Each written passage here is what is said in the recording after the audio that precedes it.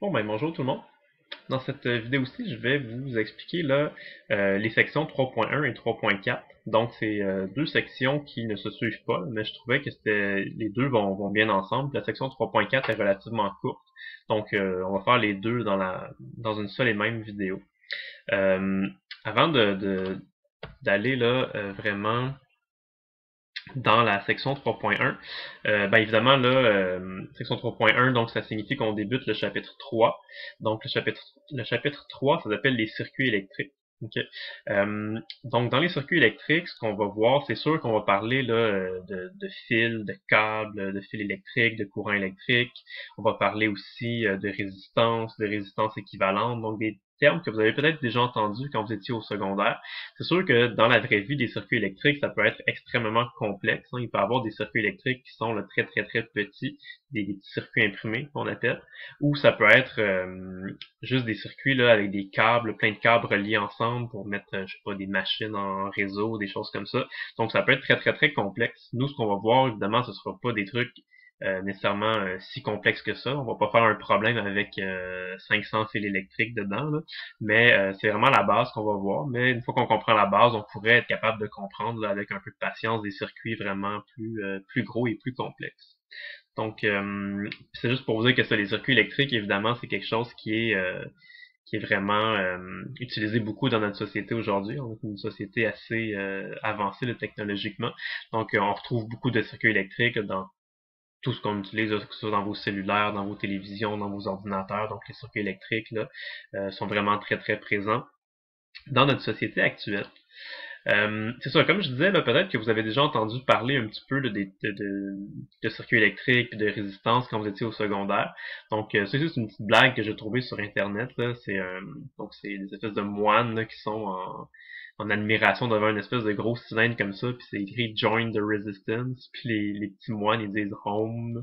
Donc euh, je sais pas si, si vous la si vous catchez la joke là, parce que des cylindres comme ça avec des, des petits codes de couleurs, c'est ce qu'on appelle des résisteurs, là, ou des on appelle ça des résistances. Et euh, la résistance, ça les unités de la résistance c'est des ohms. Donc euh, le symbole ohm c'est la lettre grecque comme ça, c'est la lettre oméga majuscule. Et fait qu'on on, la résistance se, se, note en on. Donc, euh, en tout cas, si vous, avez, compris cette petite blague-là, ça veut dire que vous avez déjà vu un petit peu de, de notion de circuit électrique et de résistance quand vous étiez au secondaire. Mais sinon, c'est pas grave, c'est juste une petite blague là, comme ça. Donc, euh, allons-y avec la section, la section 3.1. Euh, la section 3.1, ça va parler de l'électromotance, du courant et de la résistance. Donc, on va voir quelques petites formules, entre autres la loi d'Ohm, que vous avez probablement déjà vu, en tout cas peut-être que ça vous dit quelque chose. Et on va parler aussi euh, tout à l'heure de la section 3.4, de la puissance électrique. Donc j'y reviendrai dans quelques instants. Mais d'abord, faut euh, savoir premièrement c'est quoi un circuit électrique. Hein. C'est une notion qui va revenir là, très très très souvent tout au long du, euh, du chapitre 3. Donc un circuit électrique, c'est un parcours fermé, conducteur, qui permet à la charge électrique de circuler. Donc on se rappelle, là, on avait vu dans les premières sections du chapitre 1 qu'il y a des conducteurs et il y a des isolants. Bien sûr, là, pour avoir un circuit électrique, c'est écrit ici que ça nous prend un chemin qui est conducteur, pour que les, charges électriques puissent se promener dans ce conducteur-là pour, former un circuit. Euh, un exemple qui est quand même assez facile à comprendre d'un circuit électrique, c'est une lampe de poche. Une lampe de poche, vous savez un petit peu comment ça fonctionne. Si on fait prendre une lampe de poche, euh, photographier une lampe de poche en rayon X, on verra un petit peu l'intérieur avec les composants. Donc dans une lampe de poche, c'est relativement simple. Il y a une ou plusieurs piles. Généralement, c'est deux grosses piles qui vont l'alimenter. Et euh, il y a une ampoule.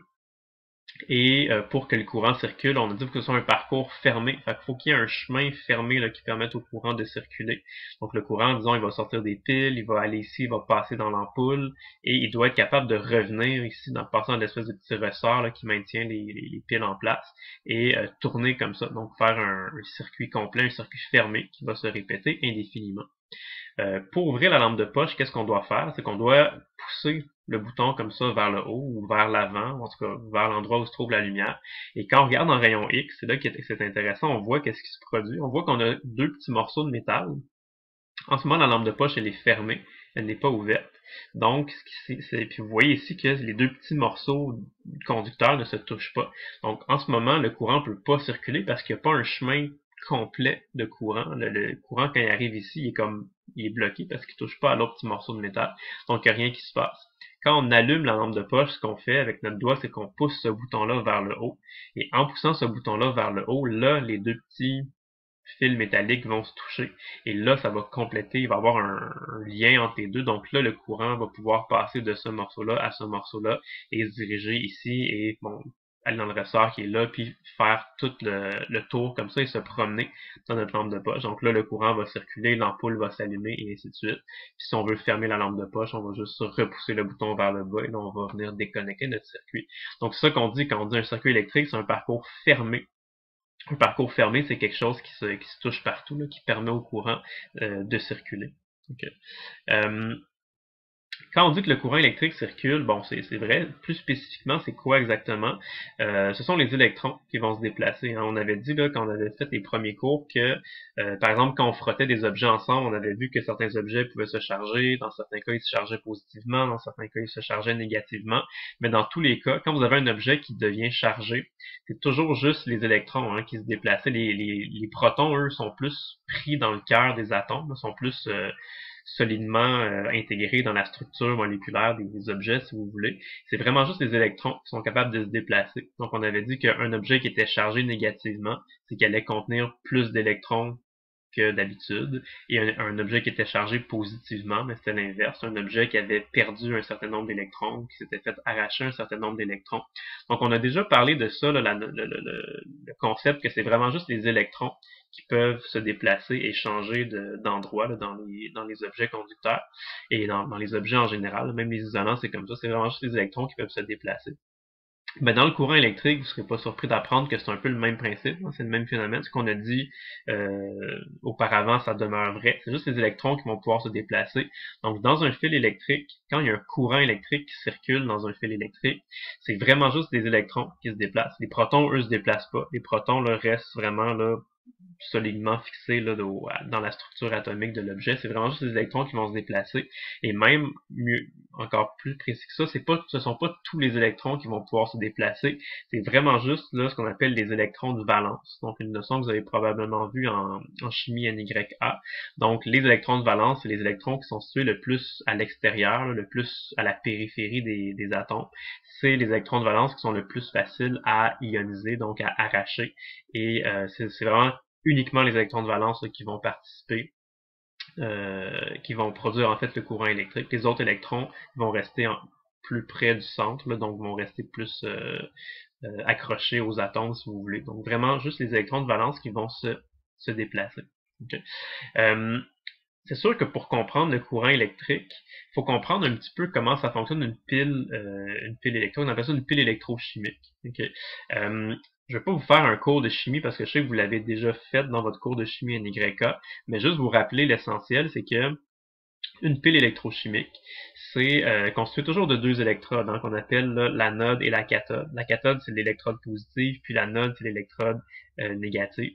Peu importe, il y a, une, très grande variété de piles, ça vient sous différentes euh, grandeurs, sous différentes formes. Par exemple, une pile de, pour les montres, c'est pas pareil qu'une pile qu'on a dans les lampes de poche, c'est pas pareil que les piles que vous avez dans vos dans, les dans les automobiles. Mais toutes les piles électrochimiques vont toujours avoir, là, si vous regardez des schémas sur Internet, des images, toujours une cathode et une anode. Toujours, toujours. c'est toujours le même principe.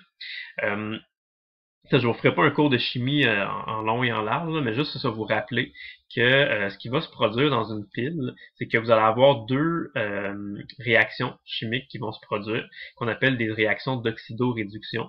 Ici, je vais vous en donner juste un exemple, ça, ça peut être n'importe quel autre exemple. Ça, c'est une pile au plomb. Donc, on a une cathode qui est en PbO2, une anode qui est en Pb, et tout ça, ça va baigner dans une solution acide, H2SO4. Et ce qui va arriver, c'est que il va toujours avoir deux réactions. Hein. Une réaction qui va se produire euh, à l'anode, une réaction qui va se produire à la cathode. Il y a toujours une des deux réactions qui va dégager des électrons, qui va produire des électrons en se, en se faisant. Et la deuxième euh, réaction chimique, elle, c'est le contraire. Elle va avoir besoin d'électrons. Elle va, elle va nécessiter, elle va requérir des électrons là, pour, se, pour se produire. Donc ici, juste l'exemple qui, qui, est donné là, vous voyez que ici, là, à l'anode, la réaction qui se produit, c'est le plomb qui se mélange avec les ions SO4 2- dans la, dans la solution acide ici, ça donne du PbSO4 et ça produit deux électrons. Donc à l'anode, on a comme une réaction chimique qui se produit, deux électrons sont produits. Et au contraire, à la cathode, on a une réaction chimique qui peut se produire, qui elle a besoin de, deux électrons pour se produire. Et euh, fait que c'est ça, les deux, c'est euh, ça va comme se s'entraider ou se compléter, si vous voulez. C'est ici une réaction qui produit deux électrons, ici une réaction qui a besoin de deux électrons pour se produire. Donc, qu'est-ce qui va arriver? C'est que les électrons qui sont produits ici vont avoir tendance à aller jusqu'ici pour aller participer à la réaction qu'on a là. Et euh, ce faisant, quand, les quand les électrons vont partir d'ici puis vont voyager jusque là-bas, ben là, il va y avoir ce qu'on appelle un courant électrique dans ce fil-là. Et euh, si on mettait quelque chose ici alimenté par un courant électrique, comme une ampoule, par exemple, ben l'ampoule pourrait pourrait s'allumer quand, quand elle se ferait traverser par le courant électrique. Donc, en gros, c'est ça. C'est deux réactions. Une qui produit des électrons, une qui a besoin d'électrons. On appelle ça de l'oxydoréduction. C'est une réaction d'oxydation, une réaction de réduction, mais ensemble, on appelle ça oxydoréduction. Et euh, Juste un petit détail comme ça, vous avez sûrement déjà remarqué qu'une pile, c'est pas quelque chose qui est, euh, qui est éternel, hein. c'est quelque chose qui va finir par se par s'user ou par s'épuiser, si vous voulez. Puis quand une pile ne fonctionne plus, ben il faut la, changer ou la recharger. C'est pas toutes les piles qui sont rechargeables, certaines le sont, mais euh, juste petit mot comme ça, pourquoi euh, une pile finit par s'épuiser. Ben, pour que ça fonctionne, cette réaction-là, comme vous voyez, là, la cathode et l'anode doivent être plongées dans une solution qui est acide. Hein. vous voyez ici qui réagissent avec les ions SO4 2-. Mais euh, malheureusement, on pourrait dire, là, quand la réaction se produit ici, ça produit du H2O. Du H2O, c'est de l'eau. Donc, à la longue, là, si vous aviez votre solution acide au départ, mais que avec le, au fil du temps, là, plus, euh, au fur et à mesure que la pile fonctionne, il y a de l'eau qui est produite. Et l'eau, s'il y, a, beaucoup d'eau qui est produite, ben à la longue, la solution ne sera plus acide, la solution va devenir toute diluée. Puis s'il reste pas une assez grande concentration d'ion SO4 2-, la réaction, les réactions vont juste arrêter de se produire, puis votre pile ne fonctionnera plus. Donc, euh, en tout cas, c'est juste pour vous dire que ça vient du fait qu'il y a une certaine quantité d'eau qui est produite dans les réactions, que tranquillement, ça va s'épuiser. Okay. Tous les détails que je viens de dire ici, là, ce ne sera pas, euh, ce sera pas dans, l'examen, par exemple. C'est vraiment juste pour vous donner un exemple de, de, vous rappeler un petit peu des notions que vous avez vues en chimie, juste pour vous rappeler que c'est deux, euh, deux réactions, là, une qui produit des électrons, l'autre qui a besoin d'électrons pour se, pour s'effectuer. Okay. Donc ça, c'est un exemple de pile, ok, qu'on comprend bien, qui est un, avec des réactions assez, assez visuelles, assez faciles à comprendre. Mais euh, historiquement, une des premières, des, toutes premières piles qui a été découverte, c'est ce qu'on appelle la pile voltaïque, hein, qui a été découverte par un monsieur qui s'appelle Alessandro Volta. On verra, on va voir son image en quelques instants. Donc lui avait euh, découvert comme ça, peut-être euh, en faisant des certains tests et certaines expériences, que si on, on plongeait un morceau de cuivre et un morceau de zinc dans une solution acide, ça allait euh, agir comme une pile avec une différence de potentiel d'environ 1 volt. Donc c'est ce qu'on appelle une cellule photovoltaïque. Et ce qui s'est rendu compte aussi, c'est que si on, mettait plusieurs cellules voltaïques comme ça en, série, l'un à côté de l'autre, donc si on mettait par exemple trois cellules voltaïques là, en reliant les différentes euh, les différentes électrodes, euh, si on en mettait trois une à côté de l'autre, par exemple, ça donnait une différence de potentiel total d'environ 3 volts. Donc autant de fois que chaque cellule voltaïque, c'est environ 1 volt. Donc, plus qu'on en mettait, plus que ça donnait un grand, euh, un nombre de volts élevé au total. Euh, la solution acide, ça peut être vraiment une solution acide qu'on trouve en laboratoire. Vous pourrez, dans un laboratoire de chimie, produire une pile comme ça. Mais euh, une façon qui est un peu un peu drôle de faire des piles, c'est on appelle ça des piles aux patates. Hein, parce que une patate, le, légume qu'on peut cultiver, ben une patate, c'est légèrement acide. En fait, tous les aliments, tous les fruits, les légumes, c'est légèrement acide. Pensez par exemple à un citron ou à euh, un ananas ou quelque chose comme ça, mais les légumes aussi sont, sont acides. Donc si on prend deux électrodes, là, je sais pas si vous voyez bien ici, c'est vraiment là un morceau de cuivre et un morceau de zinc. Si on plante ça dans une patate, la patate ici, l'intérieur de la patate qui est un milieu acide, va agir comme une solution acide qu'on pourrait euh, produire en laboratoire. Et euh, si on branche des petits fils là, aux bornes de, si on relie tous nos électrodes ensemble par des fils, euh, ben, il peut y avoir un courant électrique qui va se produire. On pourrait faire allumer, par exemple, une petite ampoule ou une petite euh, diode électroluminescente en servant une pile aux patates comme ça. Euh, quand on fait des des fois on fait des démonstrations, on apporte ça en classe, des piles aux patates, les gens trouvent ça un, peu drôle, mais c'est ça, c'est tout à fait possible de faire ça. Il y a des vidéos là, sur YouTube de gens qui font ça, si ça vous tente de, regarder, on appelle ça les piles aux patates. Euh, ça, comme je vous disais, c'est Alessandro Volta, le premier qui a euh, découvert dans le fond le, principe de la pile, la pile électrique. Et lui, ce qu'il faisait, c'est que justement là, euh, il faisait plusieurs cellules photovoltaïques comme ça, euh, pas photovoltaïques, pardon, juste cellules voltaïques. Et euh, ça, ce qu'il faisait, c'est que bon, il y avait des petites, euh, une espèce de petits disques, des petits cylindres en cuivre et en zinc. Puis entre les deux, il mettait des petits morceaux de tissu, des petits morceaux de, tissu trempés dans, de l'eau acidulée. Donc ça, ça agissait comme une espèce de solution acide. Et euh, plus qu'il ça, faisait des, des gros empilements. Là, fait que plus qu'il mettait des gros empilements, plus que ça signifiait qu'il y avait un nombre important de cellules voltaïques. Et ça faisait une différence de potentiel de plus en plus grande entre les deux morceaux de fil qu'on avait ici. Euh, voilà, donc ça c'est un petit peu l'aspect historique. Euh, ce qu'on appelle aujourd'hui, bon, la électrochimique, on l'a vu un petit peu, c'est dans le fond le milieu, le, petit euh, montage chimique dans lequel il va avoir des réactions chimiques, une anode une cathode. Et ce que ça va avoir comme effet, c'est que ça va créer une espèce de déséquilibre. Ça va avoir tendance à faire circuler les électrons dans une certaine direction. C'est ce qui va produire le courant électrique. Donc, une façon qu'on a de dessiner une pile, un peu de manière un peu euh, schématisée, c'est euh, de faire une espèce de rectangle comme ça avec deux symboles, un symbole plus et un symbole moins aux deux extrémités de la pile, qui représentent en fait les deux électrodes, donc l'électrode positive et l'électrode négative.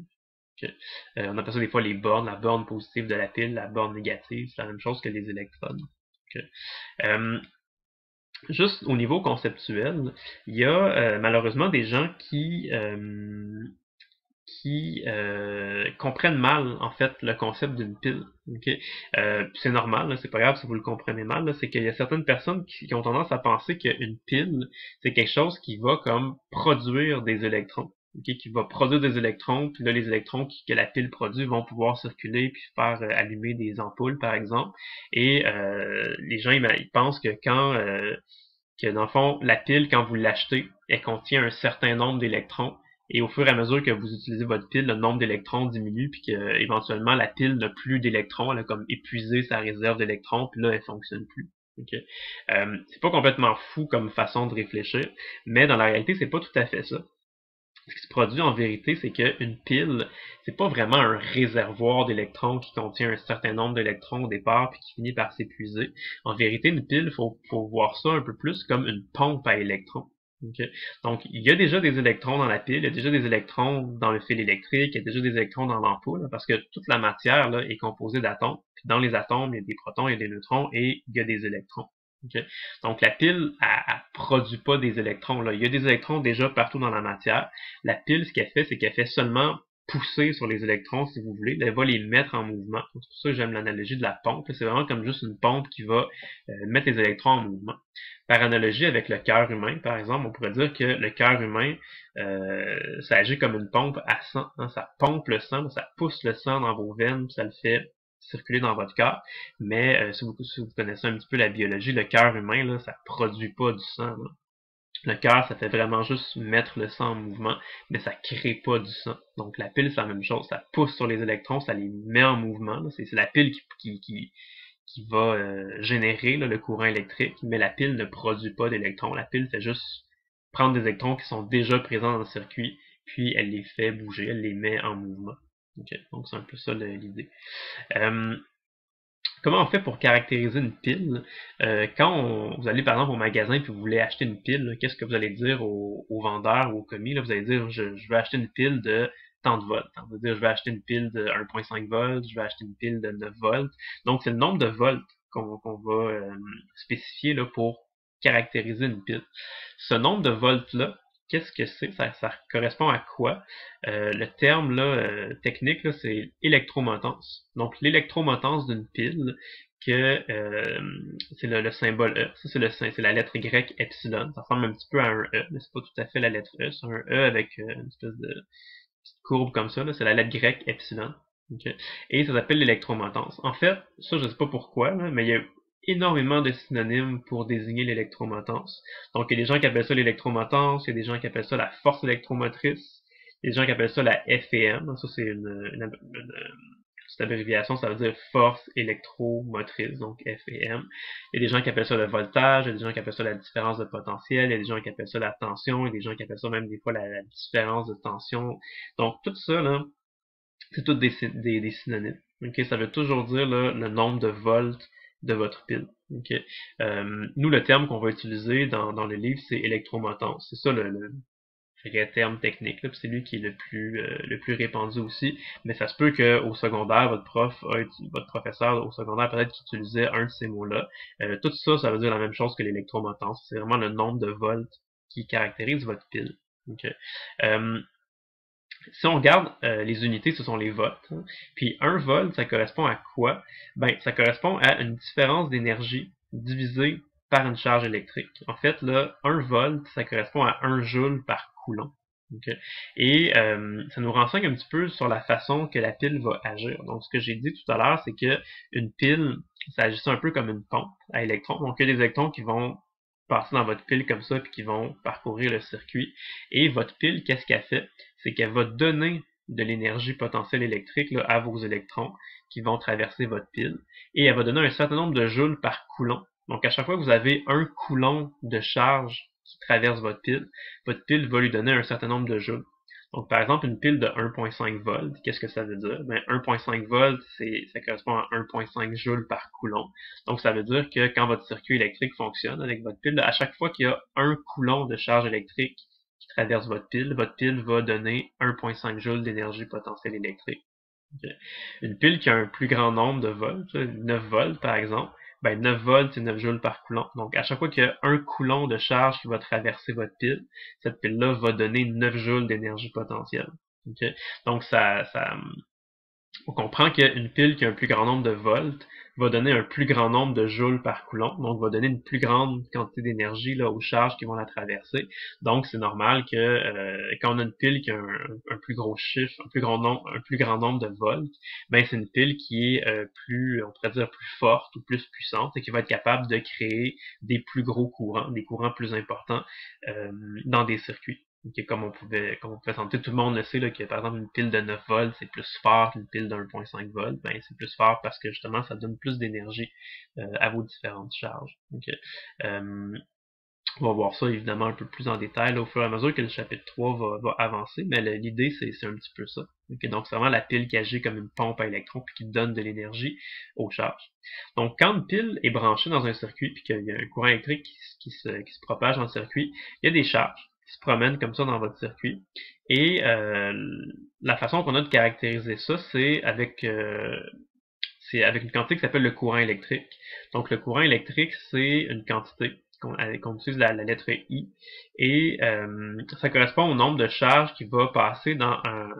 Vous avez un certain point du fil là, pendant un certain intervalle de temps delta t. C'est comme si vous étiez, euh, je sais pas, là, disons, assis à côté du fil, puis vous regardez ce qui se produit. Fait que si vous pouviez avoir des espèces de petits yeux euh, magiques, là, si vous pouviez voir là, les électrons qui se déplacent dans le fil ici, euh, vous pourriez vous dire, ben moi je m'installe là, à côté du fil, je regarde une certaine section du fil, je vois les charges là, qui circulent, puis je vais compter il y a combien de coulons, quelle charge, il y a combien de coulons qui va passer vis-à-vis la section de fil ici en un certain intervalle de temps delta t. Donc ça correspondrait à un nombre de coulomb par seconde qui est dans le système international. Et un nombre de coulomb par seconde, ça correspond à une unité qui s'appelle des ampères. Les ampères, ce sont les unités qui sont utilisées dans le système international pour euh, définir le courant électrique. Le mot ampère, c'est le nom de famille d'un monsieur qui s'appelait André-Marie Ampère. Donc, c'est lui un des premiers là, qui a travaillé sur le courant électrique et qui a réussi à, mesurer le courant électrique. Donc, le courant va toujours se mesurer en ampères dans le système international. Et un ampère, ça correspond à un coulomb par seconde. Euh, il y a quelque chose qui, porte un petit peu à confusion, puis je sais que ça mélange sur plusieurs personnes, fait que je vais essayer d'éclaircir, tout ça avec vous. C'est que, euh, comme j'ai dit tout à l'heure, dans la, dans la vraie vie, quand vous avez une pile que vous branchez, puis que vous reliez, vous formez, un circuit électrique avec, ce qui va se déplacer dans la vraie vie, ce sont les électrons. et pas tous les électrons, uniquement les électrons de valence, comme on a spécifié tout à l'heure, mais en tout cas, ce sont vraiment les électrons qui vont se déplacer. Euh, malheureusement, ce qui est arrivé, c'est que dans l'étude du courant électrique, on n'a pas tout trouvé les, comment ça fonctionnait d'un seul coup comme ça. Et ce qui est arrivé, c'est que euh, historiquement, les gens pensait, il s'était trompé, mais il pensait que c'était les charges positives qui se déplaçaient. Euh, donc, quand on avait notre pile, qu'on peut représenter schématiquement comme ça, pendant un certain temps, pendant un certain nombre d'années, les gens pensaient que c'était des, protons, des charges positives qui quittaient la borne positive, puis qui allaient se déplacer comme ça, puis rentrer par la borne négative, puis les charges tournaient dans ce sens-là. Euh, c'est juste plus tard qu'on a découvert que finalement on s'était trompé, c'était pas exactement les protons qui se déplaçaient, c'était les électrons. Donc on a vraiment découvert ça euh, un petit peu plus tard. Puis quand on s'est rendu compte de ça, ben, malheureusement, vu que ça faisait déjà plusieurs années qu'on croyait que c'était les charges positives comme ça qui se déplaçaient, c'est que toutes les formules qui ont été développées euh, pour euh, calculer des courants, des résistances, tout ça, ça avait vraiment été écrit, ça avait vraiment été fait en supposant que c'était des charges positives qui sortaient de la borne positive de la pile. Et là, ce qu'on, bah, quand, c'est, quand on a fait la découverte que finalement c'était des électrons qui se déplaçaient, là, les gens se sont dit comme oh shit, on s'est trompé. Euh, qu'est-ce qu'on fait? Est-ce qu'on se met à changer toutes nos équations qui, sont déjà bien établies, qui fonctionnent bien, que les gens sont habitués d'utiliser, ou euh, on modifie les équations en introduisant des signes négatifs à certains endroits, mais des fois ça se compensait, des fois non. Fait que ça été comme ça aurait probablement causé plein d'erreurs et plein de, difficultés. Donc les gens, ce qu'on a décidé de faire, c'est qu'on a décidé de spécifier ce qu'on appelle le sens du courant conventionnel. On appelle le courant conventionnel le courant par convention. C'est que euh, quand on va utiliser des équations, on va comme supposer que ce sont des charges positives qui quittent la borne positive puis qui se déplacent dans une certaine direction, qu'on appelle le sens du courant conventionnel. Mais on le sait pour vrai, là, dans, la vraie vie, que c'est pas des protons qui sortent de la borne positive puis qui se déplacent. On sait là, que pour vrai, ce sont juste les électrons qui vont se déplacer. Et les électrons, eux, ils vont se déplacer dans le sens contraire du courant conventionnel. C'est ce qui est c'est ce qui est représenté par les petits schémas ici. Donc, dans la vraie vie, ce qui arrive, c'est que ce sont des électrons qui sortent de la borne négative de la pile, puis qui vont traverser le circuit dans le sens contraire, puis qui vont rentrer dans la borne positive. Euh, ce qu'on a écrit dans, le livre, c'est que par convention, le courant euh, est orienté dans le sens du mouvement des charges si elles sont positives, et dans le sens contraire du mouvement des charges si elles sont négatives. Donc, par exemple, qu'est-ce que ça veut dire? C'est qu'imaginez que vous avez deux deux objets, ou deux extrémités d'un objet, peu importe. Là.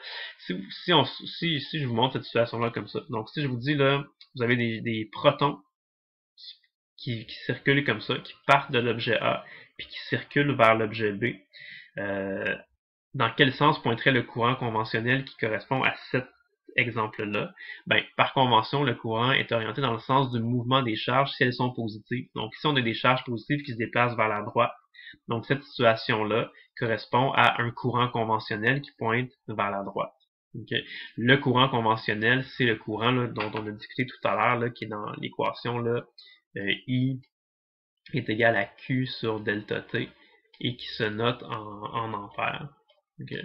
Donc, c'est le courant conventionnel I, dans ce cas-ci, si vous avez des charges positives qui se déplacent vers la droite, votre courant conventionnel, il va pointer vers la droite. Et euh, au contraire, si vous avez des électrons qui se déplacent vers la droite, imaginez une situation dans votre tête où vous, vous auriez un objet A, un objet B ici, puis si on dit que par l'issue d'un certain phénomène, des électrons quittent l'objet A et se dirigent vers l'objet B, donc des électrons qui se déplacent vers la droite comme ça, ben ça correspond à un sens du courant conventionnel qui est vers la gauche, hein, dans le sens contraire des charges négatives. C'est ce qui est écrit ici. Le courant est orienté dans le sens contraire du mouvement des charges si elles sont négatives. Donc, si vous avez des charges négatives qui se déplacent vers la droite, ça crée du courant conventionnel vers la gauche. c'est un petit peu mélangeant, mais c'est comme ça. Donc, ça, ce que ça veut dire, ça veut dire que, si je vous dis là, imaginez que vous avez un objet A puis un objet B, et si je vous dis que vous avez un courant conventionnel qui va vers la droite, donc, si vous avez du courant conventionnel qui va de A vers B, qu'est-ce que vous pouvez imaginer dans votre tête quand je vous dis ça? Ben, vous, avez, vous pouvez imaginer deux choses. Soit vous imaginez que vous avez des protons, des charges positives qui partent de A et qui vont vers B. C'est vrai que si vous imaginez ça dans votre tête, ça correspond à du courant conventionnel qui se déplace vers la droite, comme ça. Mais vous pourriez aussi dans votre tête imaginer ça pourriez imaginer des électrons qui quittent l'objet B puis qui se déplacent vers la gauche, qui vont, qui vont euh, être captés par l'objet A. Ça aussi, ça produit du courant conventionnel vers la droite parce que le courant conventionnel est dans le sens contraire des charges négatives. Fait des charges positives qui vont vers la droite ou des charges négatives qui vont vers la gauche, ça donne le même résultat. Ça correspond à un courant conventionnel qui est pointé vers la droite. Quand on l'imagine dans notre tête, cette situation-là est exactement équivalente à cette situation-là, mais pour vrai, dans la vraie vie, cette situation-là, euh, ça se peut pas. Parce que dans des fils électriques, c'est pas des protons qui se déplacent. On l'a dit tout à l'heure, c'est seulement des électrons. Euh, et les électrons sont uniquement des électrons et des électrons de valence qui se déplacent. Donc dans la vraie vie, c'est ça qui se produit et non ça. Même si théoriquement, là, les deux sont, sont équivalents, on le sait que dans la vraie vie, c'est vraiment ça qui se produit et non cette, ça ici. Okay. Euh, fait que c'est ça. Je reviens à mon acétate de tout à l'heure. Quand vous avez une vraie pile, euh, quand on fait des équations, même quand on va faire des raisonnements là, un peu plus tard dans les prochaines sections, des fois, même moi, là, quand je, vais expliquer, je vais vous, je vais vous dire, là, imaginez que vous avez du courant là, qui sort par la bande positive, qui va se déplacer, qui va parcourir comme ça. Donc, quand on fait ça, quand, on, quand on dit qu'on a du courant qui sort par la bande positive, c'est comme si on imaginait des charges positives qui sortaient par la bande positive, qui allaient faire ça comme ça on sait que dans la vraie vie, c'est pas ça qui se passe. Dans la vraie vie, on sait que c'est des électrons qui sortent par la borne négative, puis qui vont faire le chemin contraire comme ça. Mais euh, la façon que les formules ont été développées, la façon que les formules ont été écrites, vous allez voir que en général, ça va être comme plus simple, plus logique d'imaginer qu'on a des charges positives qui sortent par la bande positive, même si on le sait pour vrai là, dans la vraie vie que c'est le contraire, ce sont des électrons. Mais euh, dans tous les cas, ça change rien parce qu'on va, on va formuler nos raisonnements en termes de courant conventionnel. Fait que je vous dis là, imaginez du courant conventionnel qui sort par la bande plus puis qui descend comme ça. Vous pouvez imaginer soit des protons qui font ça ou des électrons qui font ça, ça revient au même. Mais on sait que dans la vraie vie, c'est vraiment les électrons qui sortent comme ça. Donc euh, voilà là, concernant le courant conventionnel. Je sais que c'est un petit peu mélangeant, mais euh, on va toujours parler de courant conventionnel. Donc la pression avec les électrons, là, ça va euh, on va, toujours parler du courant conventionnel de toute façon, donc ça va simplifier beaucoup les raisonnements qu'on fera là dans les prochaines sections. Donc, on a parlé de, des piles avec l'électromotance, on a parlé du courant qui voyage dans les fils. Il y a une dernière notion qu'on n'a pas encore vue, qu'on voit maintenant dans la section 3.1, euh, c'est la résistance. Donc, la résistance, c'est dans le fond ce qui va, dans quelque sorte, s'opposer au courant électrique. Et euh, c'est un monsieur là qui s'appelle George Ohm qui a euh, étudié est l'un des, pionniers en fait de, ça. Et lui, dans le fond, ce qu'il s'était dit, tout simplement, c'est que il a remarqué que si on plaçait une pile reliée à un fil électrique à quelque chose, qu'on appelle maintenant la résistance, ben, il s'est rendu compte que dépendamment de ce qu'on va mettre ici, dépendamment de ce à quoi on va relier notre pile, ça va influencer la valeur du courant qui va le traverser. Donc lui, euh, George Holmes, qui avait écrit, dans le fond, c'est que par définition, la résistance correspond à delta V sur I. Donc, ce qu'il disait, c'est que si vous avez réussi à établir un certain courant I dans un circuit à l'aide d'une pile qui a un certain delta V, une certaine électromotance, la résistance de ce sur quoi vous avez relié votre pile et vos fils électriques, c'est égal à delta V sur I. Euh, donc ça, ça nous permet de voir que les unités du, euh, système international, 1 ohm, c'est égal à des volts par ampère. c'est un petit peu difficile à, conceptualiser c'est quoi, à quoi ça correspond un volt par ampère, mais dans le fond, c'est ça qui correspond au ohm, une quantité qui, a, euh, qui, joue le rôle dans le circuit de justement s'opposer euh, au courant. C'est un petit peu plus clair là, quand on l'écrit, euh, quand on va écrire la loi d'Ohm dans quelques instants, mais bon, pour l'instant, on va garder cette, cette définition-là de la résistance. Donc, juste mentionner que c'est ça, les unités, ce sont des, des ondes, comme j'avais dit tout à l'heure, cette, lettre-là, cette espèce de, symbole-là, euh, c'est la lettre grecque oméga majuscule.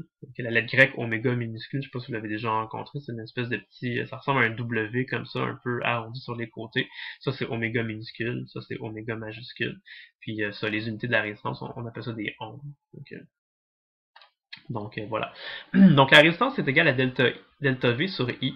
On peut jouer là avec ça, on peut faire des, transformations algébriques. On pourrait isoler par exemple le courant et on pourrait dire que le courant euh, qui va passer dans un circuit va être égal à delta V sur R. Donc, si vous avez une certaine pile, une certaine électromotance, et que avec des fils, vous reliez ça à un certain résisteur, qui a une certaine valeur de résistance, ben, il va s'établir un certain courant dans notre circuit. Et euh, avec les petits exemples que je vais vous montrer ici, vous allez comprendre justement c'est quoi l'effet de la résistance. Donc commençons par le premier exemple. Si je vous dis là, vous avez une pile qui a une électromotance de 9 volts, puis on la branche là, à un résisteur qui a une résistance de 1 ohm. Si on, si on construit ce circuit-là, c'est quoi la valeur du courant qui va circuler? Mais ben, avec la petite formule ici, on voit que delta V sur R, donc 9 volts divisé par 1 ohm, ça va donner 9 ampères. Donc on aura un courant de 9 ampères qui se mettrait à circuler comme ça. Vous remarquez que j'ai fait des flèches dans cette direction-là, hein? donc ça c'est le, sens du courant conventionnel justement. Donc j'imagine que j'ai du courant conventionnel qui sort de ma pile ici, là, qui sort par la borne positive, qui parcourt ça, puis qui va rentrer dans la borne négative et qui va circuler comme ça. Donc sens du courant conventionnel tout le temps. Euh, maintenant, deuxième situation, qu'est-ce qui arrive si on garde la même pile? Fait qu'on garde une pile qui a une électromotance de 9 volts, mais on vient placer ici une résistance de 3 ohms plutôt qu'une résistance de 1 ohm. Donc, qu'est-ce que ça va changer? Ça va influencer la valeur du courant. Si on fait notre calcul, 9 volts divisé par 3 ohms, ça va donner un courant de 3 ampères seulement. Donc, vous voyez justement que en augmentant la résistance dans notre circuit, qu'est-ce que ça a eu comme effet, qu'est-ce que ça a eu comme impact? C'est que ça a diminué la valeur du courant. Si on a mis une résistance trois fois plus grande, ce qui est arrivé, c'est qu'on a eu un courant trois fois plus faible qui s'est mis à circuler. Donc ça que je vous disais là, quand je disais que la résistance, dans le fond, ce que ça fait, c'est que ça s'oppose au courant. Euh, le mot est bien choisi, la résistance, qu'est-ce que ça fait? Ben ça va résister, ça va poser une résistance, ça va résister au courant directement. ça, ça, s'oppose au courant, ça va euh, nuire au courant. Okay? Plus qu'on a une grosse résistance dans un circuit, plus que le courant va être petit. Euh, deux petites questions comme ça, un peu euh, pour euh, faire réfléchir un petit peu. Qu'est-ce qui arrive selon vous si on prend une pile, on, branche deux fils électriques de chaque côté de la pile, mais on relie ces fils-là à rien du tout. On les laisse comme ça, là, lousses, là, puis ils sont connectés à rien. Si vous faites ça, c'est quoi le courant qui va traverser dans votre pile? Que ça va être un certain courant? Est-ce qu'il n'y aura pas de courant? Ça va être un courant infini? Ben, en fait, il y aura un courant égal à zéro. Pourquoi? Parce que si vous reliez les fils à rien du tout, ben, quand il n'y a rien, ou tout il y a du vide, si vous voulez, ben, le courant ne peut pas passer. Hein, rappelez-vous, ce qu'on a dit tout à l'heure, c'est que pour que le courant électrique se, se promène, il faut avoir un parcours fermé. Donc quelque chose qui se, se referme sur lui-même, qui permet au courant de circuler. Si vous avez deux fils qui se touchent pas, le courant ne peut pas passer. Et mathématiquement, à quoi ça correspond? Ça correspond à une résistance qui serait infinie. Donc même si vous avez une pile qui a une électromotance de 9 volts, si vous divisez ça par une résistance qui est infinie, 9 divisé par l'infini, ça donne 0. Donc quand vous reliez des fils à rien du tout, c'est comme si le, vide là, aurait une résistance infinie. Fait que ça laisse pas passer le courant. Le vide, ce serait comme un, isolant parfait et les électrons peuvent pas euh, circuler dans le vide. Ça prend toujours un milieu pour que les électrons puissent circuler. Et euh, au contraire, une autre situation un peu extrême, si vous avez un fil électrique qui relie directement votre borne positive et votre borne négative de votre pile, donc il n'y a pas de résistance ici, qu'est-ce que vous allez avoir comme courant? Ben, si on met aucune résistance, là, les gens vont dire la résistance va être égale à 0. Donc si on a une résistance égale à 0, ici ça fait 9 volts divisé par 0 mathématiquement, 9 divisé par 0, ça donne l'infini. Donc, on, pourrait avoir un courant infini. Ben, mathématiquement, on dirait que oui, selon cette équation-là. Mais, euh, bon, vous vous en doutez sûrement que dans la vraie vie, ça se peut pas avoir un courant infini, un nombre infini d'ampères qui circule dans un, dans un fil. Bon, évidemment, c'est impossible, on s'en doute un petit peu. Pourquoi c'est impossible? Parce que, comme on verra là, dans la prochaine vidéo, à la section 3.2, qui s'appelle la résistivité, vous allez voir que, euh, oui, quand on construit des circuits, souvent on met des, ce qu'on appelle des résisteurs comme ça, mais je veux dire, il y a, dans la vie, il n'y a rien de parfait. Puis même un morceau de fil électrique, comme un morceau de, je sais pas, un fil de cuivre ou quelque chose comme ça, ben, ça n'a pas une résistance qui est exactement égale à zéro. Ça a toujours une certaine résistance. Ça dépend de la longueur du fil, ça dépend du diamètre du fil, mais euh, ça a une résistance. Fait que même si vous branchez un fil de cuivre comme ça directement là, de votre borne plus à votre, borne moins, euh, il y a une résistance qui va être assez faible, mais il va avoir une résistance quand même qui sera pas zéro, donc le courant sera pas infini. Il pourrait être très, quand même assez élevé, mais euh, c'est ça, il sera pas infini. Malheureusement, ça serait cool d'être capable de, faire des petits circuits comme ça avec, du courant infini, mais euh, bon, malheureusement, ça ça n'existe pas, pour des raisons qu'on verra à la section 3.2. Euh, juste une petite, euh, parenthèse ici, là, c'est une question de vocabulaire. Là. Quand on parle, quand on, construit des circuits là, avec des petites pièces de circuits comme ça, vous en avez peut-être déjà vu là, au secondaire si vous avez eu le temps de faire des petits euh, circuits. Là. Donc ça, ça s'appelle des résisteurs. donc un résisteur, c'est ça, des petits cylindres qu'on appelle des, des petits morceaux qu'on peut souder dans des circuits. Et un résisteur, ça a une certaine valeur de résistance. Et la résistance, ça, c'est la variable physique qui rentre dans les équations. C'est la résistance, ça qui se note en ohm.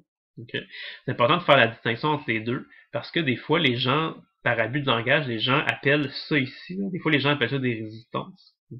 Et euh, quand on fait ça, ben, ça nous envoie comme la fausse idée puis la fausse impression qu'il y a juste ça dans, dans des circuits qui ont une valeur de résistance, mais euh, c'est pas vrai. En fait, toutes les pièces dans un circuit ont une certaine valeur de résistance. Comme je viens de vous dire tantôt, là, juste un fil électrique, ça a une certaine valeur de résistance.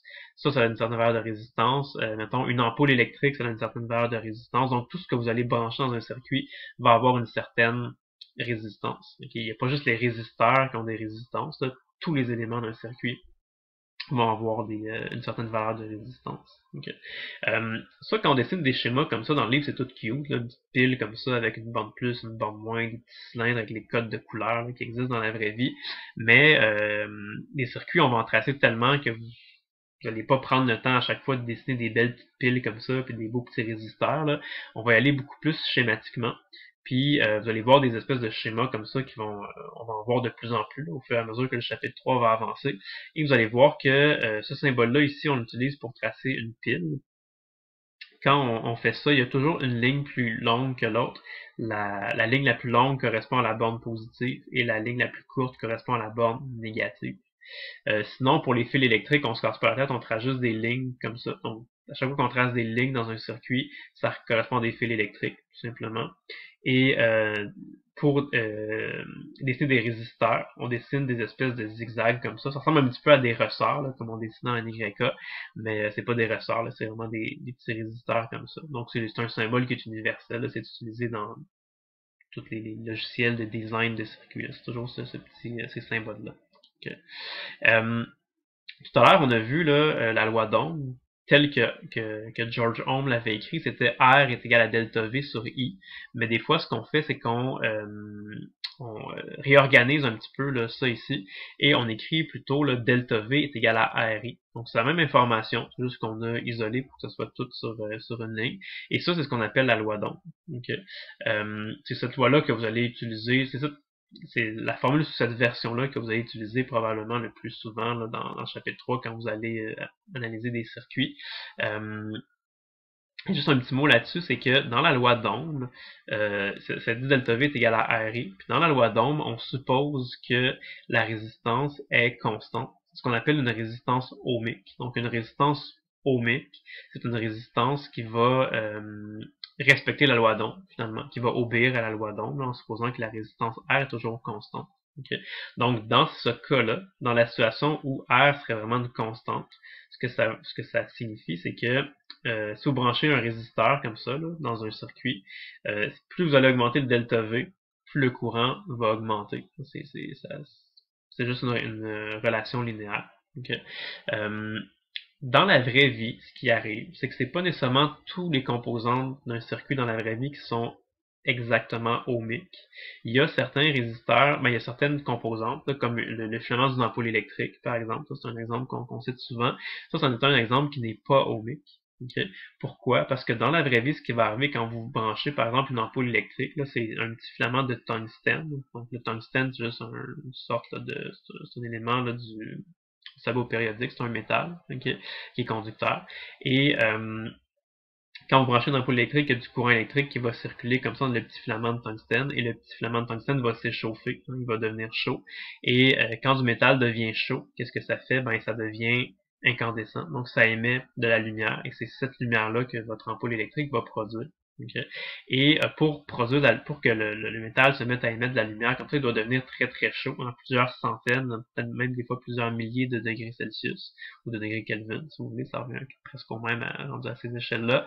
Euh, ce qui arrive dans la vraie vie, c'est que quand la température d'un matériel va changer là, de plusieurs centaines de, degrés, ben, la résistance aussi va changer. Légèrement, ce qui va arriver, c'est que plus que la résistance, plus que la, température du matériel va augmenter en général, plus que la résistance va augmenter.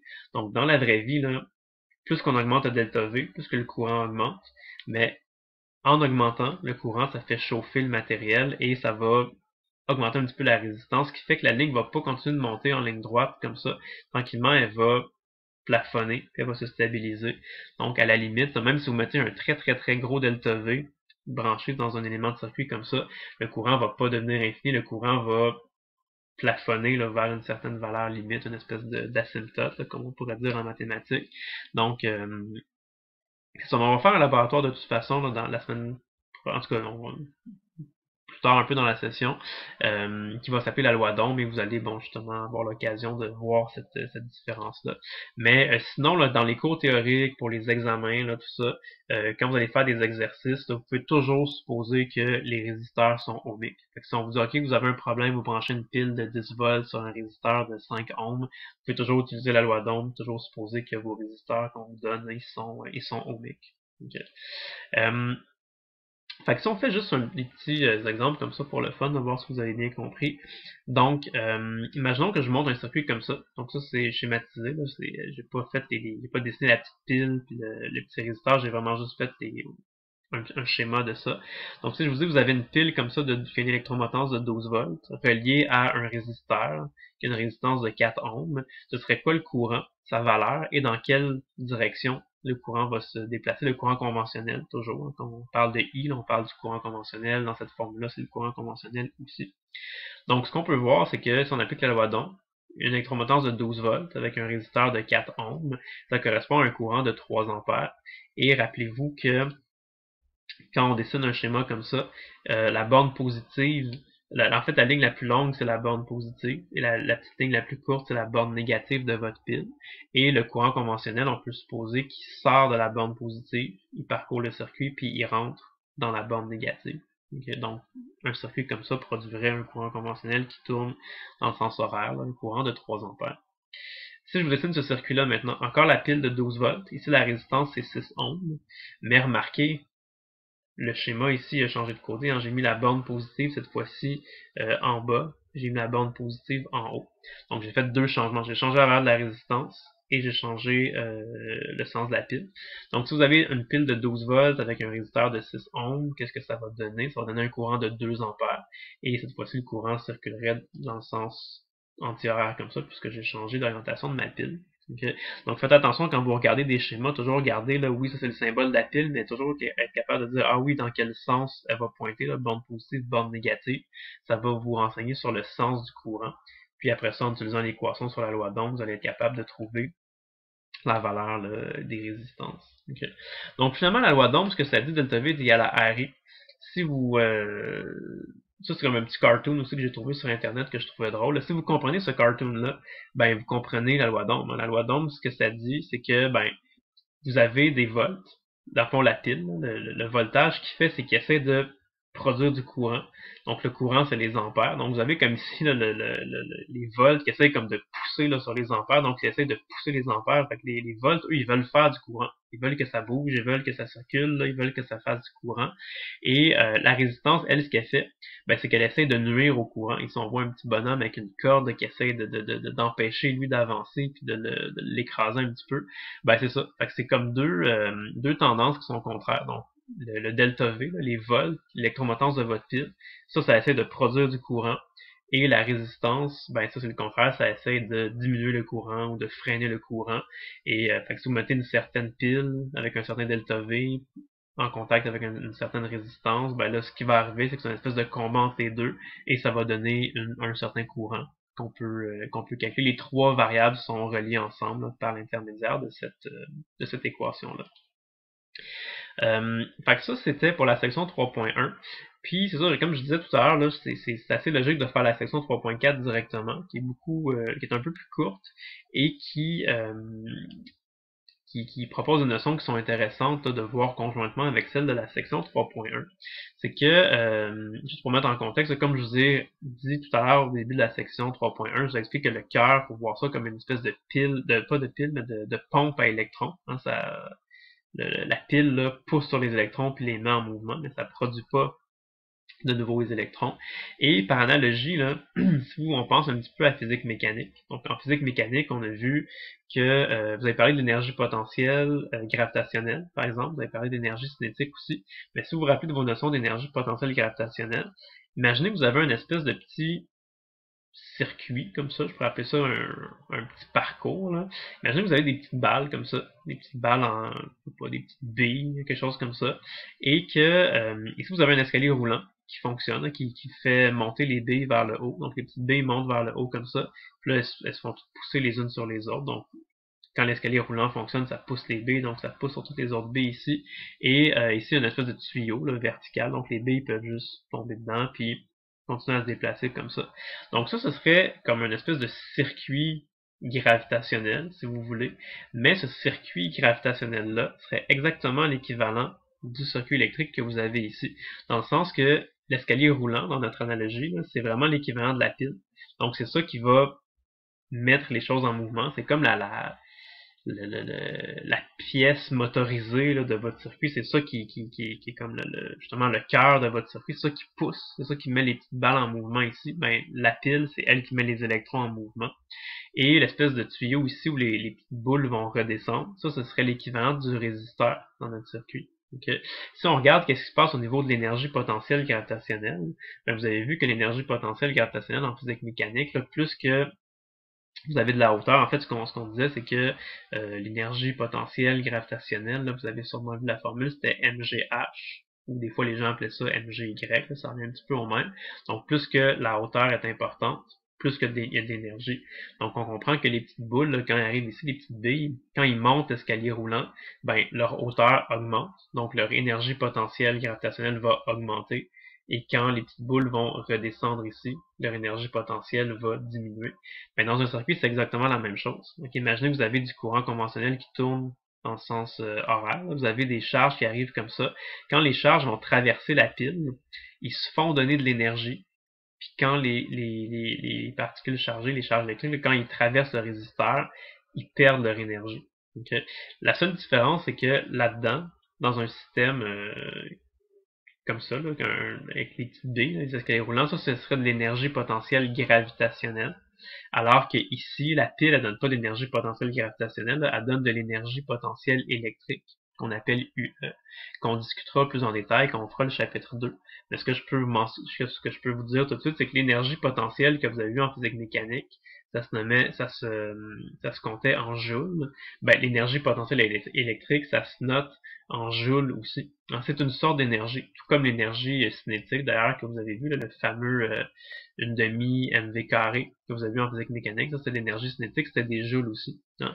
Toutes les formes d'énergie, ça se note en joules. Donc l'énergie cinétique, l'énergie potentielle gravitationnelle, l'énergie potentielle électrique, tout ça c'est des joules.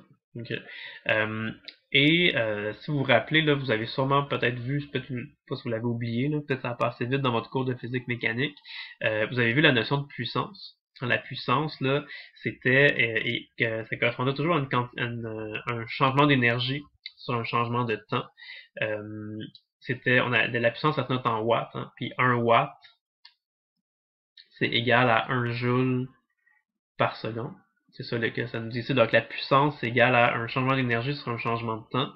Si on travaille plus spécifiquement sur la pile ici, on nous dit que c'est de l'énergie potentielle électrique. Donc la puissance d'une pile, par exemple, c'est égal au changement d'énergie potentielle électrique que la, pile va donner par intervalle de temps. Puis, euh, on le verra là quand on, le, verra plus en détail quand on fera le chapitre 2. Mais ce que je peux vous dire tout de suite, c'est que euh, l'énergie potentielle électrique, c'est égal à la charge multipliée par le potentiel. Le potentiel, ça se note en volts. Les volts, c'est ce qu'on retrouve là par rapport à notre pile. Ce que je vous avais dit tout à l'heure, c'est que 1 volt correspond à 1 joule par coulomb. Donc on le voit ici, là, si on isole les volts là-dedans, ben le, si on isole le potentiel, le, V majuscule, ça donne U sur Q. U, c'est de l'énergie, c'est l'énergie potentielle électrique. Q, c'est la charge électrique. Fait qu'on voit ici que des volts, c'est égal à 1 joule par coulomb. Euh, c'est toutes des notions qu'on verra plus tard. C'est juste pour vous justifier que la puissance, c'est changement d'énergie sur changement de temps. L'énergie potentielle, c'est Q fois delta V. Et ici, on retrouve le Q sur delta T. Puis par définition, Q sur delta T, c'est la définition du courant électrique qu'on a vu à la section 3.1, X notre en ampères. Donc, ça pour dire que la puissance associée à une pile, c'est égal à I fois delta V. Donc, le delta V de votre pile, l'électromotance de votre pile, multiplié par le courant qui traverse votre pile, ça va vous donner la puissance de votre pile. Puis la puissance, elle, se note en watts. Euh, fait que ça, c'est la formule qu'on peut, si vous voulez, euh, découvrir ou déduire, ou en tout cas justifier par cette espèce de petite euh, analogie-là. Euh, et à partir de cette formule-là, de cette équation-là, si on combine ça avec la loi d'Ohm, la loi d'Ohm nous dit que delta V est égal à RI. Donc juste en travaillant algébriquement, on peut trouver comme une deuxième version de cette, de cette équation-là, parce que P est égal à I fois delta V. Mais si on remplace delta V par R fois I, ça fait P est égal à I fois R fois I, qu'on peut écrire comme R fois I au carré. Donc c'est une autre façon, tout à fait équivalente à cette équation-là, de calculer la puissance là, euh, qui est associée à un certain élément de circuit. Une autre, euh, on pourrait faire une autre, euh, exprimer ça algébriquement d'une autre façon. Ici, on pourrait dire que I est égal à delta V sur R et remplacer I par delta V sur R ici. Fait qu'on aurait que la puissance égale à delta V fois delta V divisé par R. On peut écrire là comme delta V au carré sur R. Donc, l'équation ici, celle-ci et celle-ci, ce sont trois équations équivalentes pour calculer la puissance qui est associée à un certain élément de circuit. La seule chose qu'il faut faire attention, c'est que ces quatre équations-là peuvent toutes être utilisées pour calculer la puissance associée à un résisteur. Par contre, si vous voulez calculer la puissance qui est associée à une pile dans un circuit, vous êtes obligé d'utiliser la première équation ici.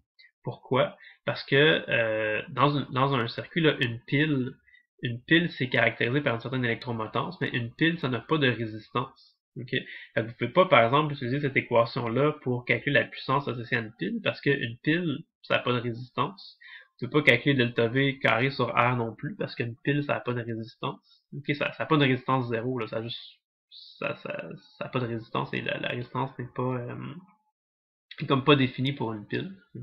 Par contre, une pile, ça a une certaine électromotance, delta V, qu'on connaît, c'est le nombre de volts de votre pile.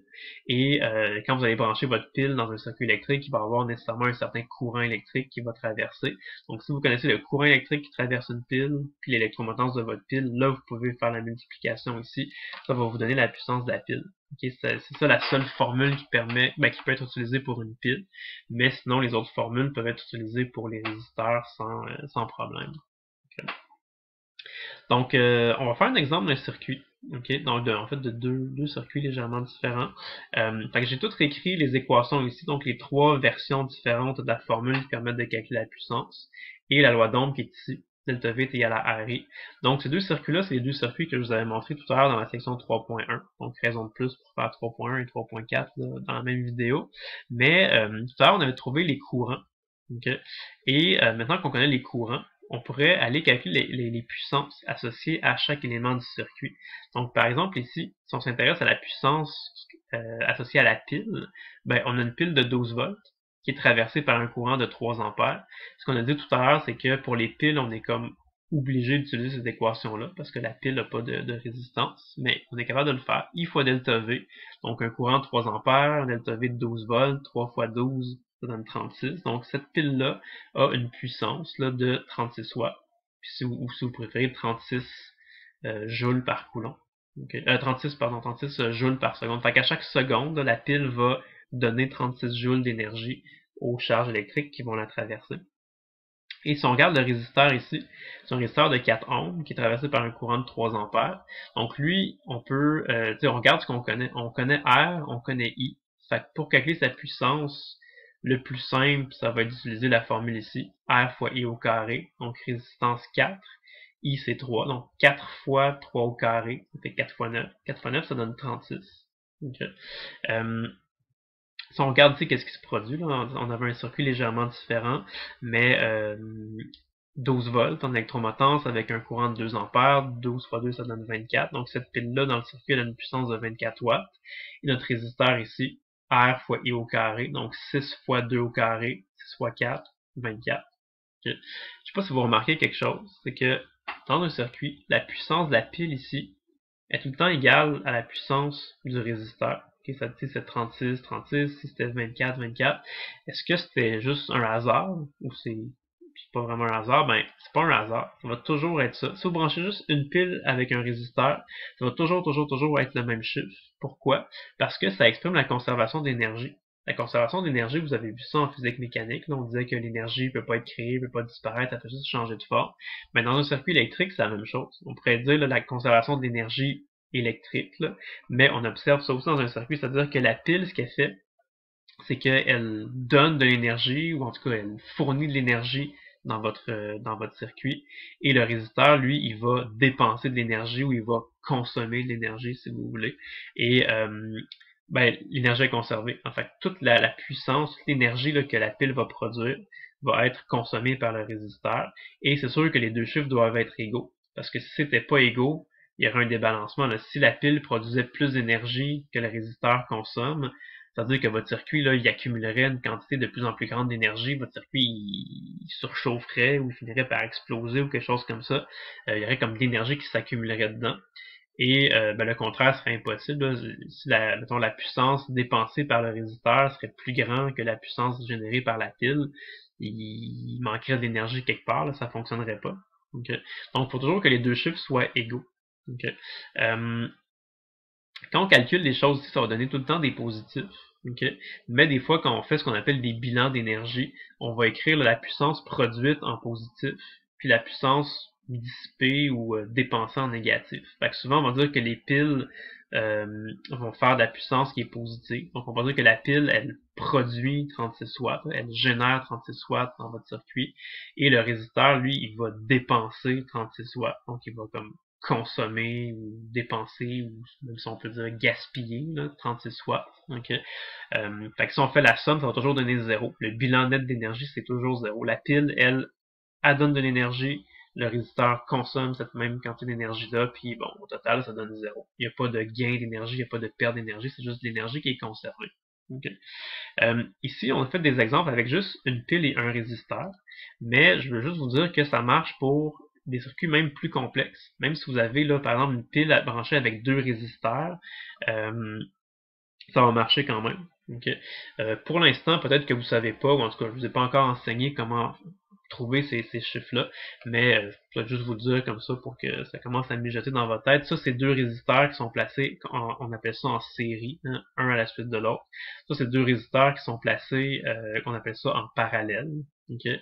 Puis, on verra comment faire ça dans les prochains cours, mais quand on met les deux résisteurs en série, ou si on les met en série ou en parallèle, pour remarquer, le circuit va pas se comporter de la même façon. Et euh, plus exactement, c'est pas les mêmes courants qui vont traverser chacun de nos deux résisteurs. Euh, on reviendra sur ces, sur ces notions-là, mais juste quand même vous montrer là, que si on fait les calculs, la on calcule la puissance de tous les éléments, la puissance de la pile ici, la puissance de chacun des résisteurs, on va, on va voir que la somme des deux puissances des résisteurs, le 8 plus 16, va donner 24. Donc encore une fois, on observe que l'énergie est conservée.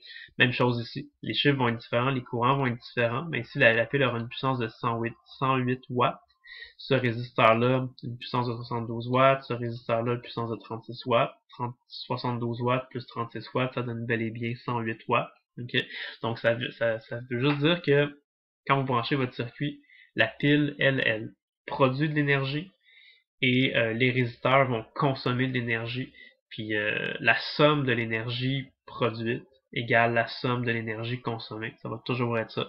Même si vous mettiez, là, je sais pas, le 5-6 résisteurs ben, la somme de la puissance de tous les 5-6 résisteurs va toujours être égale à la puissance de votre pile. ok? Parce que justement l'énergie est conservée. Ça va être vrai tout le temps, tout le temps, tout le temps, même quand vous avez des circuits qui sont euh, qui sont complexes. Et c'est le fun, ben c'est intéressant qu'il y ait ça, parce que bon, ça, démontre le principe de conservation d'énergie, mais aussi c'est que euh, quand, on, fait des exercices au niveau un peu plus pratique, c'est que ça nous permet parfois de vérifier qu'on a la bonne réponse. Si on vous demande par exemple de calculer le courant qui, voyage dans, un certain résisteur dans tous les résisteurs d'un circuit, une fois que vous avez trouvé votre réponse, une façon de vérifier si vous avez la bonne réponse, c'est vérifier si vous avez la conservation d'énergie dans votre circuit si votre circuit n'a pas la si, si vos, les chiffres que vous avez calculés font en sorte que votre énergie n'est pas conservée, c'est sûr et certain que vous vous êtes trompé dans vos calculs puis qu'il y a quelque chose qui est pas qui est pas correct. Là. Mais si vous avez fait vos calculs, vous trouvez les courants, puis quand vous faites le calcul, vous voyez que votre énergie est conservée, ça veut dire presque automatiquement que vous avez la bonne réponse. C'est une, façon de vérifier vous-même si vos calculs sont, sont corrects. Euh, ici, j'ai dit que le résisteur, ce que ça faisait, c'est que ça, ça dépensait de l'énergie, ou en tout cas, ça consommait de l'énergie, ou peut-être gaspillait de l'énergie, dépendamment de la façon dont vous voyez ça. Euh, il y a un, ce, ce, consommation d'énergie-là dans un résisteur, ça porte un nom. Ça s'appelle l'effet Joule. Okay, ça vient d'un monsieur qui s'appelait James, James Joule. Et euh, bon, on son nom de famille. Le Joule, comme je dit tout à l'heure, ce sont les unités de l'énergie. L'énergie cinétique, l'énergie potentielle, l'énergie euh, potentielle gravitationnelle, potentielle électrique, ça en Joule. Donc Joule, c'est vraiment les, unités de l'énergie. Et l'effet Joule, c'est euh, un terme qui signifie justement l'énergie qui est consommée par un résisteur dans un circuit. Donc l'effet Joule, ce que ça dit, c'est que quand vous avez un courant électrique qui traverse un résisteur, euh, ça va produire de la chaleur. Hein. L'énergie électrique va se transformer en énergie thermique, et c'est pour ça que vous allez perdre d'énergie électrique en traversant le résisteur, parce que l'énergie électrique va s'être transformée en énergie thermique. encore une fois, ça illustre la conservation d'énergie. L'énergie, c'est pas, ça apparaît pas, ça disparaît pas, mais ça peut changer de forme quand vous avez fait le cours de physique NYK, on vous disait, là, vous pouvez avoir parfois de l'énergie cinétique qui se transforme en énergie potentielle et vice-versa. Ben, ici, quand un courant électrique traverse un résisteur, vous avez de l'énergie électrique qui se transforme en énergie thermique. Donc, ce que ça veut dire concrètement, c'est que ça va chauffer. Ça va produire de la chaleur. Si vous faites fonctionner un circuit, là, puis que vous mettez votre doigt sur le, sur le résisteur comme ça, ben, ça va devenir chaud. Vous allez sentir de la chaleur parce que c'est de l'énergie électrique qui se transforme en énergie thermique. Euh, donc, euh, comme j'avais dit tout à l'heure, les ampoules électriques, ça fonctionne un petit peu comme ça. Hein, quand on fait traverser un courant dans une ampoule électrique, le filament de tungstène, en se faisant traverser par un courant, euh, ça va chauffer. Et quand le métal devient chaud, quand il devient assez chaud, ça finit par produire de la lumière. Donc ça, ça veut dire qu'une ampoule électrique, ça, ça, ça produit pas uniquement de la lumière. En fait, ça produit de la chaleur. Puis même que pour vrai, ça produit comme plus de, ça produit plus d'énergie thermique que d'énergie lumineuse. Hein, pour, euh, quand on regarde les chiffres, une ampoule électrique, ça produit environ là, 95% d'énergie thermique et seulement 5% d'énergie lumineuse. Fait que c'est un peu bizarre à dire, mais une ampoule électrique, qu'est-ce que ça fait majoritairement, c'est que ça, ça chauffe, puis un petit peu ça l'éclaire. Mais ce que ça fait le plus, c'est que ça chauffe. C'est un peu, euh, c'est un peu drôle à dire, mais c'est ça. On penserait qu'une ampoule électrique, que principalement ça éclaire, ça produit de la lumière. Ben non, le, gros d'énergie que ça produit, c'est ça produit de la chaleur, puis juste un petit peu de lumière comparativement à la chaleur qui est produite. Euh, si on parle par exemple de DEL, des, des électroluminescentes, ça c'est ça, ça produit comme plus de, ça produit un petit peu de chaleur, mais ça produit euh, beaucoup plus de lumière. Okay. Donc c'est pour ça que des fois dans des trucs un peu plus euh, un peu plus euh, modernes, là, comme des ampoules, par exemple, tranquillement, c'est remplacé par des, des systèmes qui, qui éclairent avec des DEL, parce que des DEL, ça produit beaucoup plus de lumière que de chaleur, donc ça, ça consomme moins d'énergie pour la même luminosité que vous allez euh, obtenir. Donc, en tout cas, c'est juste un petit détail comme ça. Puis, en passant, l'effet Joule, comme je dis, là, c'est dès que vous allez faire passer un courant électrique dans quelque chose, comme chaque objet, chaque composante a toujours une certaine valeur de résistance, ben ça va chauffer, ça va produire de la une certaine quantité de chaleur qui peut être utilisée pour produire différentes choses. Mais euh, un exemple un peu drôle, c'est qu'on peut faire cuire des aliments en servant d'effet jeu. Euh, par exemple, des saucisses hot dog, si vous voulez faire cuire des hot dogs, une des façons de faire, c'est qu'on peut juste il existe des, des, petites machines comme ça qui fonctionnent par effet jaune. Fait qu'on prend notre saucisse hot dog, euh, on la plug comme ça, là, c'est deux, euh, aux deux extrémités, on branche ça dans l'électricité. Fait qu'il y a du courant électrique qui va passer, il y a du courant électrique qui va traverser comme ça la saucisse hot dog. Puis la saucisse hot dog, elle a une certaine résistance. Donc, quand il y a un courant qui traverse une résistance, ça fait de l'effet Joule. Euh, l'effet Joule, c'est l'énergie thermique. Donc, la, la saucisse va chauffer, puis avec la chaleur, ben, ça va cuire. Donc, euh, c'est une façon un peu, un peu drôle, un peu loufoque, mais on peut faire cuire de saucisses hot dog en se servant d'un espèce de système comme ça. Puis, euh, ça fonctionne. Ça fait de la chaleur, donc ça, ça va cuire. Ok, ça, ça existe. Puis, euh, dernière chose là, à vous mentionner avant de terminer la section 3.4, c'est juste vous, vous avertir, ou en tout cas vous mettre au courant que il y a une, une quantité d'énergie qui s'appelle le kilowattheure que vous allez peut-être rencontrer là, quand vous allez faire certains problèmes de la section euh, de la section 3.4. Euh, c'est une façon qu'on a de calculer l'énergie. Entre autres, Hydro-Québec s'en sert beaucoup là, pour euh, faire, par exemple, vos, vos factures d'électricité. Quand vous arrivez à la fin du mois, là, vous avez consommé une certaine quantité d'électricité, une certaine quantité d'énergie électrique. Et donc, Québec va vous facturer en fonction de combien d'énergie vous avez utilisé. Et une des, ben, l'unité qui est utilisée, qui est utilisée par Hydro-Québec, ça s'appelle le kilowattheure. Qu'est-ce que ça veut dire un kilowattheure? Ben, ça veut dire un kilowatt fois une heure, tout simplement. Donc, un kilowatt, c'est 1000 watts. C'est un kilo quelque chose, c'est 1000. Un kilomètre, par exemple, c'est égal à 1000 mètres. Hein. Kilo, ça veut juste dire 1000. Donc, un kilo, euh, un kilowatt, ça veut dire quoi? Ça veut juste dire 1000 watts. Et euh, ce qu'on sait, c'est que 1 watt, comme on dit tout à l'heure, c'est de la puissance. 1 watt, c'est 1 joule par seconde. Fait que 1 kilowatt, c'est 1000 watts. 1 watt, c'est 1 joule par seconde. Donc, c'est 1000 joules par seconde. Puis là, c'est un kilowatt heure. Donc, multiplié par une heure. Une heure, c'est la même chose que 3600 secondes, parce que une heure, c'est 60 minutes, dans chaque minute, il y a 60 secondes. Donc, une heure, c'est 3600 secondes. Euh, fait qu'un kilowattheure, c'est juste 1000 watts fois une heure, ou si vous préférez 1000 joules par seconde fois 3600 secondes. Les secondes s'annulent et il reste seulement des joules. Donc 3.6 fois 10 à la 6 joules. Euh, on peut écrire ça comme 3.6 mégajoules parce que méga ça veut dire million. 3.6 millions de joules. Euh, bref, ça pour dire là, que 1 kWh, c'est tout simplement une quantité d'énergie. Ça correspond à un certain nombre de joules. 3.6 fois 10 à la 6 joules. Okay. Euh, fait que vous allez peut-être la rencontrer dans certains problèmes. Je sais que par exemple dans l'exercice 3.4.4, qui est un des exercices suggérés là, dans votre les exercices suggérés, c'est un problème justement là, avec euh, mis en situation avec Hydro-Québec qui vend de l'électricité, fait qu'on vous demande de calculer en kilowattheure parce que Québec euh, Hydro-Québec fait ça. Donc euh, c'est ça. Fait que sachez que 1 kWh c'est égal à 3.6 fois 10 à la 6 joules. Ça va vous permettre de faire vos calculs comme ça. Là, vous savez que chaque kilowattheure se vend à 6 cents, puis bon, vous allez pouvoir faire les calculs avec ça. Euh, voilà, donc euh, bon, la vidéo a duré un petit peu, euh, duré un petit peu plus longtemps que, prévu, mais c'est ça, parce qu'on a comme combiné la section 3.1 et 3.4 dans la même dans la même section.